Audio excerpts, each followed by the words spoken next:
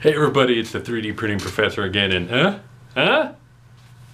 Hey, it's 3D printed. Maybe you did too good a job.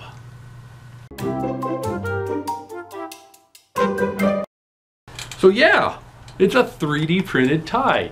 And I'm not the first person to come up with a 3D printed tie. I'm not the first person to wear one, certainly and uh, especially not one there are other 3d print ties you can get that are similar to this one in style and the diagonal striped but the other ones used uh, materials that I wasn't able to get a hold of. It wasn't until I saw somebody wearing a wooden tie that I realized the trick is just to run a piece of elastic through it on both sides, down one side and up the other. This elastic is super easy to get a hold of. I had some of it lying around the house and then you get your 3D printed tie.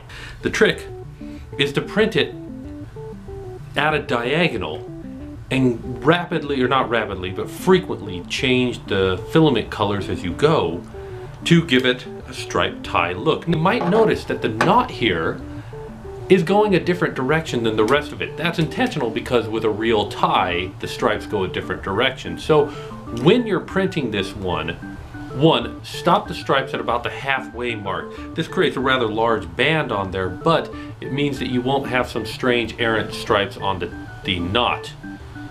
Two, have a plan for when you're going to change your filament and don't print all of them at once. Print two or three at once. This is a large job. A full print of it would take me about 12 hours and if something failed, that's a lot of material and a lot of filament changing to have lost. So let me show you how to assemble it. So here it is, all printed out, smoothed out, looking all pretty. Piece of elastic to string it all together and the two end pieces.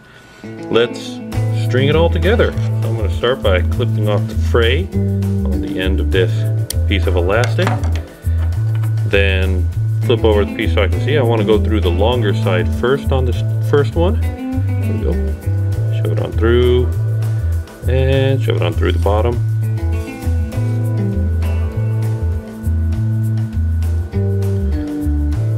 Go. Oop.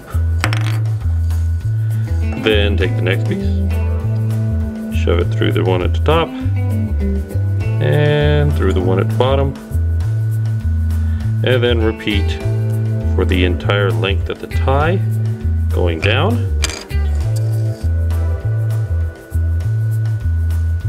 Okay.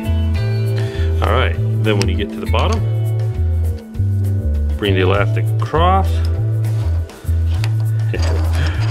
cool how they go together like that. Uh, bring the elastic across and make it as tight as you can through this groove. That should work fine. And then back up.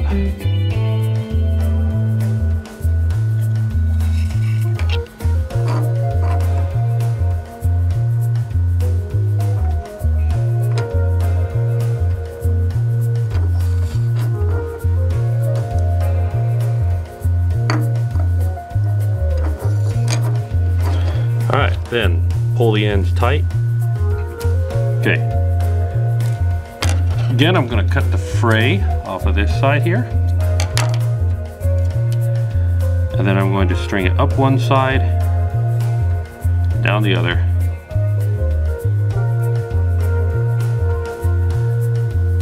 I'm going to do the same for the other side.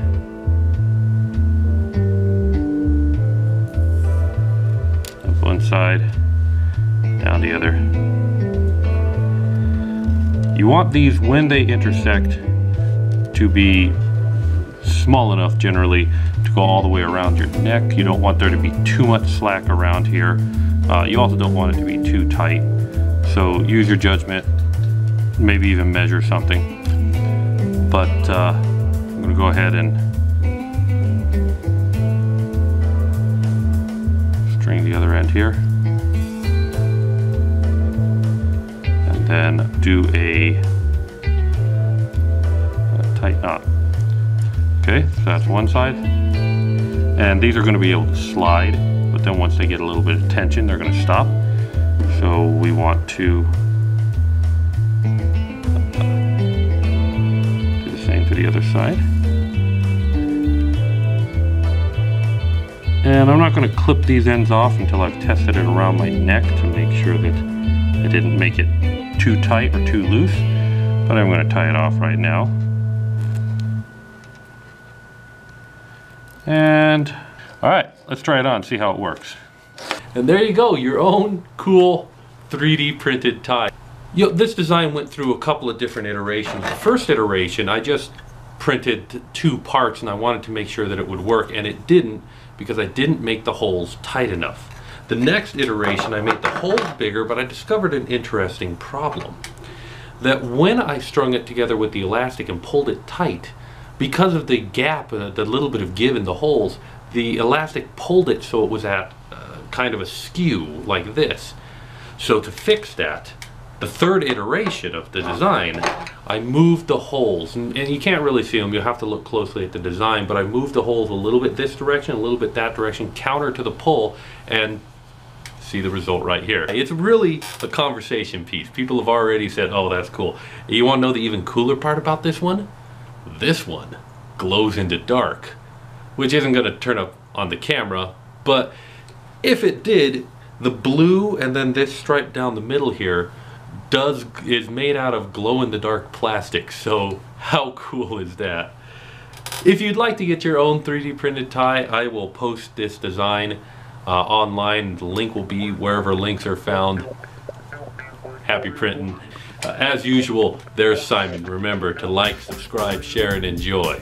And I'll see you next time.